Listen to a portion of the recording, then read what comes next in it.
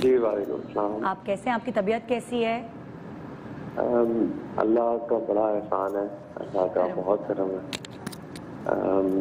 कुछ दिन पहले तक जरा तबीयत थोड़ी गड़बड़ हो गई थी। बट हम्म। अल्लाह का एहसान है। अब Aahista Aahista recovery phase on अच्छा शबाद कितने दिन हो गए आपको अभी आइसोलेशन में? आज मुझे इलेवेंथ डे है। आज आपको इलेवेंथ डे है। आपको सिम्टम्स हुए थे? आपको कैसे पता चला? आपने टेस्ट कराया तो आपको कैसे पता चला? आपको सिम्टम्स हुए थे? निदा मुझे अगर आप याद हो जिस रात कराची में डस्टॉम आया था हाँ हाँ हाँ, तो हाँ। मुझे डस्टॉम के बाद से मुझे डस्ट एलर्जी रहती है अच्छा। नॉर्मली अच्छा। तो मुझे उस डस्ट एलर्जी के बाद से खांसी और हल्की फुल्की सी गले में खराश। हाँ। मुझे मैं क्योंकि कराची जब से मूव इन हुआ हूँ हम्म। मुझे इतनी ज़्यादा नहीं प्रॉब्लम नहीं जाती। अच्छा। मैं थोड़ा सा अलर्ट हो गया था कि शायद मेरी डस्ट एलर्जी वापस आ गई। हाँ। तो आ, लेकिन यासिन मैंने अगली सुबह जब मैं ऑफ़िस में अपना शो खत्म करने के बाद हाँ। मैं जब निकल रहा था तो उस वक्त सीढ़ियाँ उतरते हुए मुझे अपना सांस फूलता हुआ फील हुआ। And I suddenly realise this is this is not something which is allergy और उसके बाद मैंने अपना टेस्ट जो है वो सैंपल के लिए दिया। हम्म। और अगले दिन एज एक्सपेक्टेड मेरा आ गया अच्छा सिफात आपके घर में बाकी सब जो लोग हैं उन वो लोग सब ठीक है? मतलब उनका तो नहीं आया टेस्ट पॉजिटिव अल्लाह का लाख लाख शुक्र है हाँ। कि जो लोग मुझसे रास्ते में थे बुध की रात से जुमे तक जब मैंने खुद को आइसोलेट किया। सही। उनमें से किसी को भी कोविड शुक्र आपके साथ मदिहा होती थी हाँ। मदिहा अलहमदुल्ला सेफ़ है। हाँ। अल्लाह का शुक्र। हस्बैंड को हुआ वो हाँ, मदिया के हस्बैंड को हुआ उनकी फ़र्स्ट वाइफ को हुआ। लेकिन मदिहा सेफ़ है तो वही वाली बात वो तो आपके बिल्कुल साथ ही हो रही होती थी शो में। तो अब आपकी क्या कैफियत है? मतलब इस वक्त खांसी बुखार उसकी क्या कैफियत है? मेरे थोड़े से सिम्टम्स एग्रेसिव हो गए थे। अच्छा। आ, मुझे अब वो रिकवर कर रहे हैं। हाँ, हाँ। इस वक्त सिचुएशन है कि मेरे राइट साइड पे लंग में थोड़ा सा फ्लूड है और इनशाला हाँ। एक शायद एक हफ़्ता मजीद लगेगा और ये फ्लूड मुझे आवाज़ नहीं आई। क्या तो कहा आपने? क्या लगेगा? एक एक हफ़्ता और लगेगा हाँ, अच्छा आप आपको अस्पताल तो जाने की ज़रूरत महसूस नहीं हुई अस्पताल तो नहीं गया मुझे जाना चाहिए था लेकिन हाँ। क्योंकि मैंने ग्राउंड भी लगाने की कोशिश की मैं गया भी हाँ। लेकिन हालात बहुत खराब थे नहीं मिला होगा जगह तो, ही नहीं मिली होगी हाँ, हाँ। मेरे ख्याल में शायद उस वक्त तो मुझे लग रहा था कि शायद अस्पतालों के अंदर जो हालात हैं तो हम्म। अगर मैं कोविड से ना मरा तो मैं पैनिक से ज़रूर मर जाऊँगा क्योंकि जो पैनिक और जो टेंशन और जो स्ट्रेस हॉस्पिटल के अंदर फैला हुआ अच्छा तो, आप शफात आप मुझे बताया आपने खाना पीना क्या किया? आपने कौन कौन सी दवाइयाँ ली? अपना ख्याल कैसे रखा घर पर? आ, एक तो मेरे ख्याल में शायद मैं पहले एक चीज़ यहाँ पे सबको समझाना चाहूँगा जो। लोग देखते हैं कि जब जिस दिन आपको कोविड होता है उस दिन ये डिसाइड हो चुका होता है कि आपको शदीद वाला कोविड होना है शदीद वाला कोरोना वायरस होना है या एसिम्टोमेटिक। जिसमें ज़्यादा ये पहले दिन डिसाइड हो चुका होता है हम्म। जिस दिन आपको वायरस होना होता है हम्म। और उसका ताल्लुक किसी आपके कावे से या किसी आपकी उससे खुराक से नहीं होता अच्छा जो बात की चीज़ है वो सिर्फ़ आपने खुद को अफलोट रखना है। हाँ। तो मैं कुछ चीज़ें यहाँ मेंशन करना चाहूँगा कि एक तो आ, मुझे हमारे कुछ दोस्तों की तरफ़ से एक वसीम बदामी की तरफ़ से कावा भिजवाया गया। हाँ हमें भी भेजा तो, था उन्होंने। हाँ। जी आपने शायद वो सुना भी होगा। यासिर ने वो कावा पिया है बहुत इफ़ेक्टिव था वो।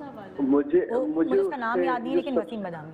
ने भिजवाया मुझे जो उससे सबसे ज़्यादा अच्छा इम्पैक्ट हुआ कि जो पहले चार दिन जब खाने की शक्ल से भी नफरत हो गई थी हाँ बुखार नहीं उतर रहा था हाँ। डायरिया हुआ हुआ था पसीने आ रहे थे और बॉडी पेन था शदीद हेडेक हाँ। नहीं कम हो रहा था आँखों के आगे अंधेरा आया हुआ था हाँ। आँखों के आगे सर्कल्स बन रहे थे और उस वक्त में मुझे जब मैंने वो कावा पिया तो अ, मुझे हल्का भूख लगनी शुरू हुई और मैंने खाना खाना शुरू किया। हम्म बाकी अ, अ, मेरी बेगम है वो ज़्यादा मुझे केटर कर रही थी। हाँ। और निहार मुझे काली बेरी के शहद के साथ कलौंजी काली बेरी के शहद के साथ? जी काली बेरी के शहद ये कुछ ज़्यादा मीठा नहीं होता। अच्छा। इसके साथ जो, जो जंगली शहद जिसको कहते हैं मेरा जो अच्छा। में अंदरून में रहने वाले लोग हैं, जानते होंगे। इसकी निशानी है शायद की ये मीठा हाँ। नहीं होता। इतना खास इसकी नहीं होती। तो वो लेना थोड़ा सा इम्यून बूस्टिंग है। अच्छा। और उसके बाद थ्रू आउट द डे जो डाइट है अ, वो ऑब्वियसली एक नॉर्मल डाइट तो नहीं होती हम्म। जिससे आप नॉर्मल रूटीन अपना मेंटेन नहीं रख सकते। हाँ। लेकिन फ्रूट्स फ्लूइड्स और ओआरएस ये बहुत ज़्यादा ज़रूरी है। सना मक्की की चाय पी आपने कि नहीं? अल्लाह का शुक्र है अल्लाह ने महफूज रखा उस चीज़ से। हाँ। क्योंकि मैं खैर यहाँ पर नाम लेना मुनासिब नहीं है लेकिन हमारे दोस्त की वालदा का अ, उस चीज़ जब उन्होंने इसी तरह ये कावा पिया और वो सब किया तो उनकी तबीयत बहुत ज़्यादा बिगड़ गई और फिर few hours later she passed on तो वो एक अलर्ट वो रेड अलर्ट मिल, मिल गया था हमें कि ये चीज़ डेंजरस है। नहीं वो आ, आप आपको आपके सिम्टम्स में डायरिया भी शामिल था क्या?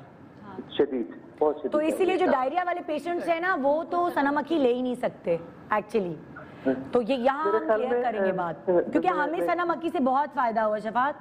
हमने ली यासिर मैंने और मेरी बेटी सिला ने हम तीनों ने सना मक्खी पी है तो हमें उससे बड़ा फ़ायदा पहुँचा है। निदा मैं एक चीज़ यहाँ ऐड करना चाहूँगा। मैं जैसे मैंने कहा भी कि पहले दिन डिसाइड हो चुका होता है जी। कि आपको किस शिद्दत का कोविड होना है। जी। ये पहले दिन डिसाइड हो चुका होता है। जिस दिन आपको ये आपकी पूरे लाइफस्टाइल की बेस पे होता है। हाँ बिल्कुल। कि आप अगर आप एक्सरसाइज करते हैं आपका लाइफस्टाइल हेल्दी है अच्छा खाते हैं हम्म। स्ट्रेस कम लेते हैं हाँ। तो ये चीज़ हो जाती है कि आपको पहले आपको शदीद होना है। हाँ बीवी बोलने आप, में वीकनेस आप सना मक्खी की बजाय आप कोई भी और चीज़ देखें आप किसी चीज़ के ऊपर बना लें आप अमरूद खाना शुरू करें हाँ। अमरूद खाएँ कोविड खत्म हो जाता है। हाँ। तो वो आपकी इम्यूनिटी से ताल्लुक है उसका। जो सना। मक्खी का जो इस वक्त मैं जिस बात की तरफ़ कहना चाह रहा हूँ कि चूँकि ये एक बहुत खतरनाक लेग्जेटिव है वो तमाम मर्द हजरात जो मेरी बात सुन रहे हैं हाँ। अ, ये बात जहन में रखिए कि अगर आपको शिद्दत वाला कोविड होता है हम्म।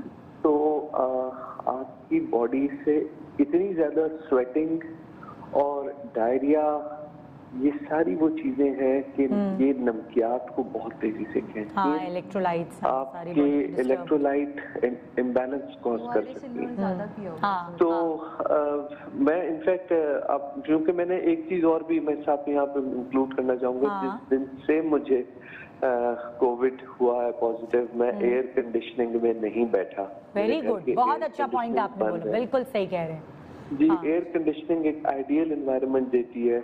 हाँ।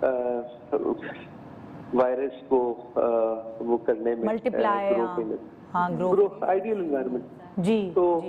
अ, मैं इस वक्त भी पंखे में बैठा हुआ हूँ और हाँ। अब तो का शुक्र है मुझे लेकिन जो ये जब ये पसीने वाले सिचुएशन बहुत इंटेंस थी तो मैं जब बिस्तर पे लेटा था सुबह वो बिस्तर वो तकिया ऐसे होता था गीला हो कि जैसे कोई नहा के इसके ऊपर लेटा है। और ये बिल्कुल गीला होता था वो हाँ हाँ। ऐसी शदीद स्वेटिंग में एयर कंडीशनिंग में बैठना अपनी स्वेटिंग को कंट्रोल करने के लिए हुँ. या ऐसा कोई लेग्जेटिव यूज़ कर लेना ऐसी कोई जड़ी बूटी यूज़ कर लेना जो कि एक्सपेरिमेंटल हो हाँ। जिसके ऊपर कोई रिसर्च मौजूद ना हो। कुछ चीज़ें हैं जिन पे रिसर्च मौजूद है। हाँ हाँ। जैसे तुलसी का ऑयल है इसमें हम्म। बहुत अच्छी रिसर्च मौजूद है ये ब्रीदिंग के लिए हम्म। बहुत ज़्यादा है लाजवंती न्याजबो जिसको हाँ। कहते हैं आधे हर्बलिस्ट तो खुद ही बन गए ना जी मैं असल में मुझे खुद भी एस्मा रहा है काफ़ी हाँ। अच्छा। अच्छा मेरी लाइफ में तो मुझे वो मैं वैसे ही वो अम्मी यूज़ करवाती थी हाँ। बचपन में तो